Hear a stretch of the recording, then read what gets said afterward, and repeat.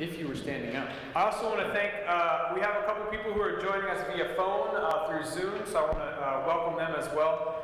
Um, we are doing our level best to try to make sure that we can connect with as many people as possible. Um, at the same time, we are also uh, asking grace as we try to figure out all this technology. Um, now is the time in our service where we have a special moment with our young disciples.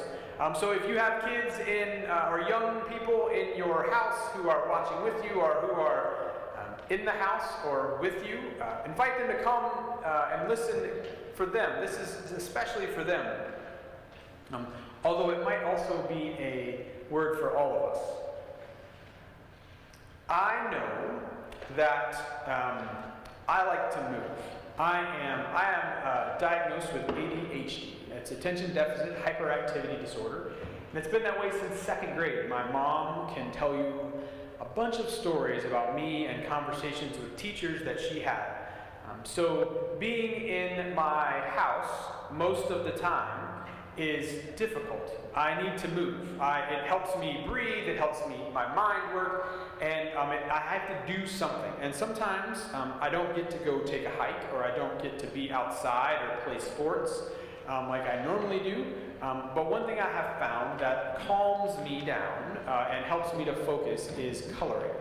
Um, and a friend of mine, um, and his, he has a company called Illustrated Ministry, and they have uh, printed some amazing uh, coloring pages for us there for um, anxious times specifically. And I we, we were going to email these out, a copy of these out to um, all uh, our mailing list coming up soon. Um, it's a uh, PDF file and it has some prayers that are associated with each and every one of these coloring sheets. Um, we also, I were trying to figure out a way so that we can have stuff for you to come pick up without the office being open and without, um, because we also, we also know that not everybody has a printer at their house, like me. I have a printer, but it's in a box, so I have to see if it works. Um, so, here's what I want you to do. I want, uh, I want you to think about two things right now.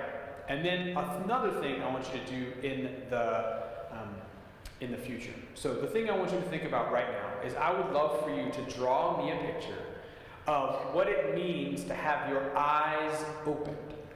And I would love for you to draw me a picture that says um, that God is with you and what that might look like. And if you can, I would love for you to share that picture with us either through a text message at 651-327-0779 or uh, email at Pastor Greg at firstpresbyterianredwing.com or Pastor Heidi at firstpresbyterianredwing.com or uh, share it with us on our Facebook page um, or Instagram or any of those things. Tag us in your Instagram post um, with the hashtag God is here. And we also want to invite you to a special Wednesday noon Zoom event. This is for young people only. So if you, uh, and you can discern, determine who that young person is. If you are young in heart, that's great, but this is specifically for those people who aren't going to be in school at Wednesday afternoon at noon. Join us and we'll have a little Zoom activity um, and time to send and to look at each other and to say hi um, because I know that many of us uh, miss seeing each other. I know I miss seeing you. And uh, we look forward to seeing you soon. So, for a second, I want us to pray while we live in this new reality. Let's pray. Dear God, thank you for the opportunity and the technology and the ability to see each other even if we cannot be with each other in presence.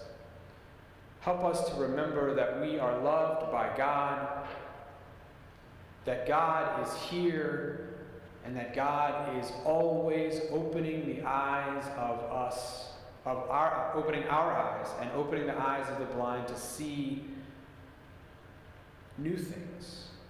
New things can be scary, new things can be uncomfortable, and we also know that God is with us to see us through, with, and uh, for the new things.